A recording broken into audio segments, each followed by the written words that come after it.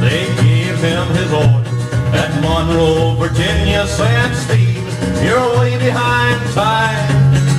This is not 38, this is old 97. Put her in the Spencer on time. Well, he turned around and said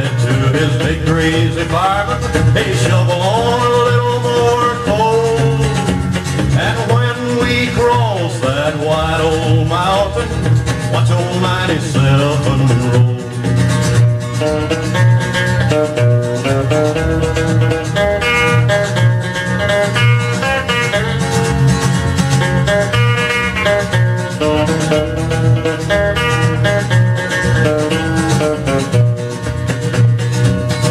It's a mighty rough road from Lynchburg to Danville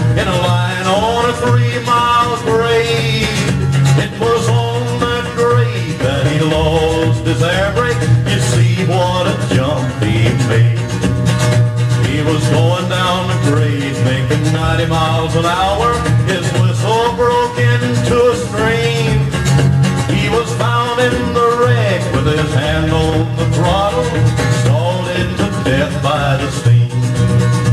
Now all you ladies, you better take a warning from this time on and learn. Never speak harsh words to your true love or husband he may leave you and never